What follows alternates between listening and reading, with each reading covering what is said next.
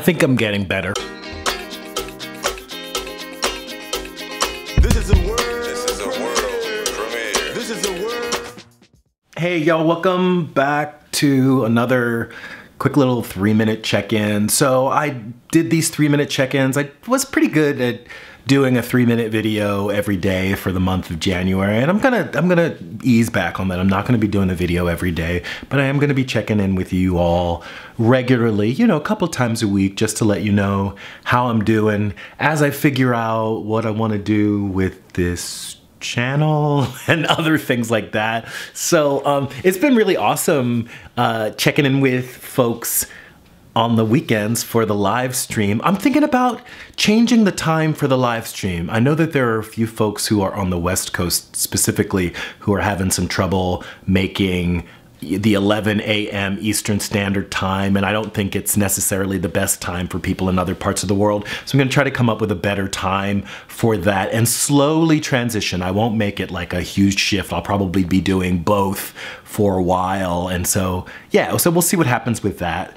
There are lots of projects going on. Obviously, I'm back to teaching, and this week I start my youth playwriting program again off the hook and we're going to be getting set up with some new youth writing some new plays and they'll be producing those in Red Hook in the spring. And I have a great class at Pace University and I'm really looking forward to working with them and all 16 of them are going to be volunteering for Falcon Works. So that's going to be really interesting. So it's going to be the first time that I'm teaching the class when all 16 of the students are going to be in one way or, or another volunteering with Falcon Works. Mm, let me see what else is going on. Oh, so you all, I've been going to the gym. I've been going to Blink uh, Fitness and I have been a pretty avid runner for about 10 years.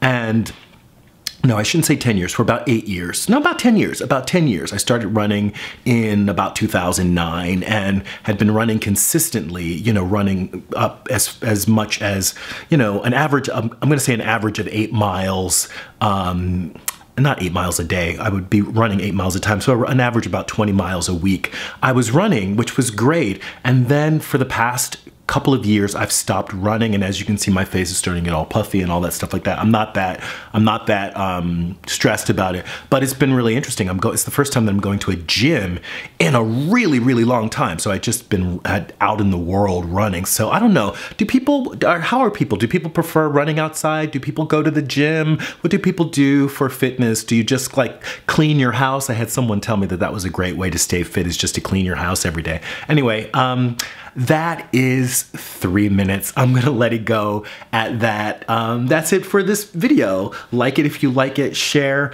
comment, subscribe. This is Reg signing off. Love yourselves. Peace.